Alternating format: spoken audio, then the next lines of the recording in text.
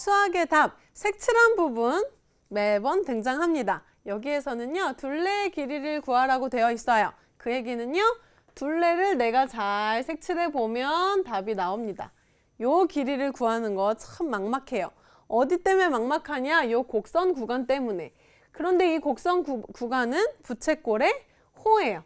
그러면 아, 요 호의 길이 구하고 요 호의 길이 구해서 얘네 둘은 그냥 직선 구간 6cm니까 각각 더해주기만 하면 되겠죠? 이런 문제를 풀 때 선생님만의 팁은요.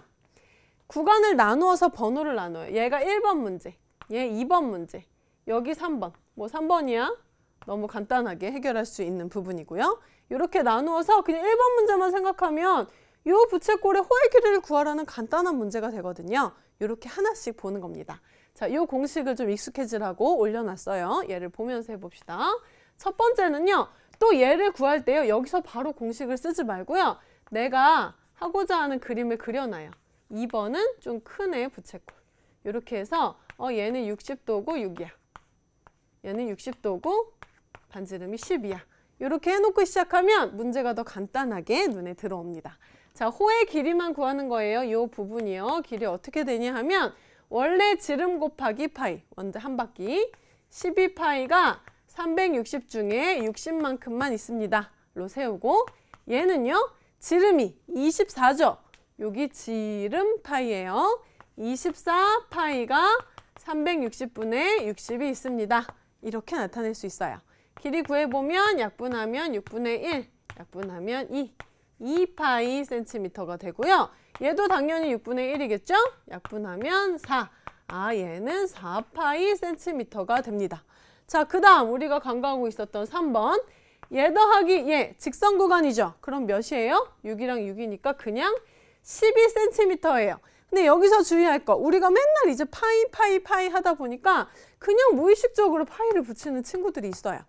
이 파이는요, 원에서 온 어떤 친구들한테 붙이는 거죠. 그런데 얘는 지금 그냥 6 더하기 6이에요. 왜 6 더하기 6이 12파이예요? 왜 3.14 같은 이상한 수를 곱하는 거죠? 그럼 안 되죠. 얘는 그냥 직선 구간 12파이입니다. 자, 그러면 이제 답을 쓸 때 진짜 진짜 주의사항 보세요. 여기다 쓸게요. 답. 너무 중요해서. 답을 쓸 건데 얘랑 얘랑 얘만 더하면 되는 아주 간단한 일을 선생님 뭐 이렇게 집중해서 보라고 하나. 맞아요. 얘랑 얘랑 얘만 더하면 됩니다. 그래서 6 더하고 12 더해서 18파이라고 쓰는 만행을 저지르면 다 구하고 다 틀리는 거예요. 자, 얘네 둘은요. 파이가 붙은 항이에요. 얘는 12만 있는 애예요. 파이 없어요.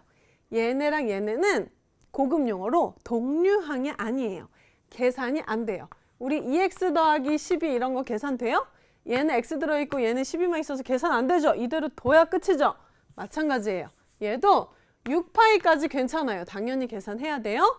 얘 가만히 둬야 돼요. 둘이 합치고 싶어 죽겠죠. 6 더하기 12 보면 막 18 하고 싶죠? 절대 그러면 안 돼요. 동류항이 아니기 때문에 이대로 끝입니다.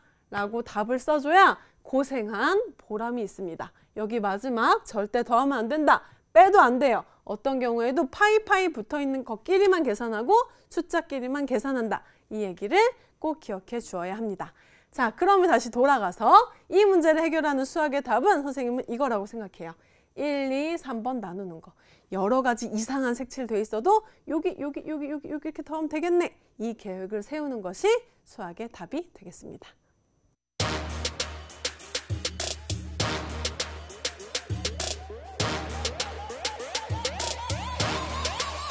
불타오르네.